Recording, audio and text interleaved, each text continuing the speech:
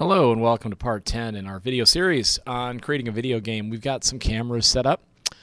Um, if I look into the active camera right now, I see over the shoulder. I can right click and select any other camera in the scene. Hold down control 0 and that will set it to active so I can look through it. Now I've set up three cameras. Um, I've got one on the top if I hit control 0 that's looking down as well.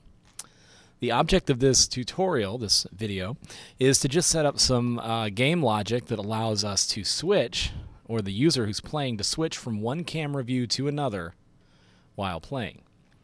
So I'm going to set up, uh, you know, I'm going to do it like this. I'm going to set up uh, an empty right back here. I'm just going to place the cursor and I'm going to go add empty. And uh, I'm just going to use this one on the left. I've got this empty. That's um, that empty's in a bad spot. I'm going to move it back here.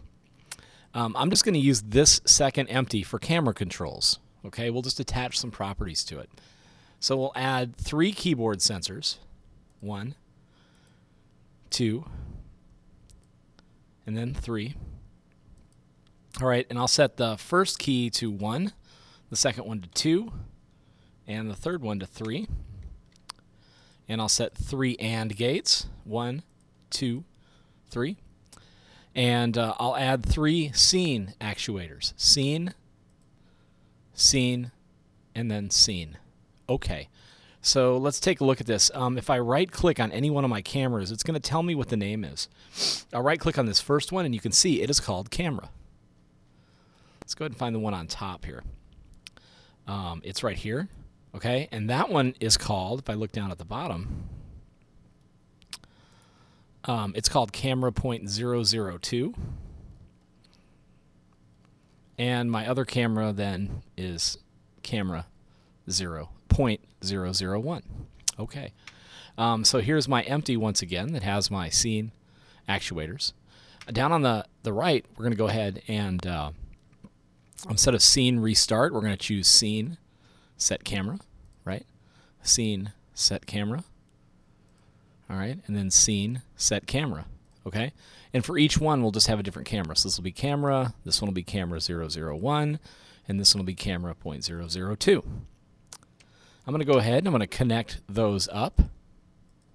And what I have is a real simple series of lines. I went through and just connected those up off camera. Um, basically, level uh, number one will set the scene to set camera one. Number two goes to camera one, and uh, number three goes to camera 0.002. Okay. Um, so let's go ahead and play. Now I can hit play at any point. I can just hit. Um, I'll hit P. All right, it's going to start here. So if I hit the number one, it's going to drop me into the first person view, and I can move around and launch stuff. Number two is going to kick me out to third person, and number three is going to move me to top down. So you should have uh, as many cameras as you want set up with uh, controls that allow the user to easily navigate from one camera to the other.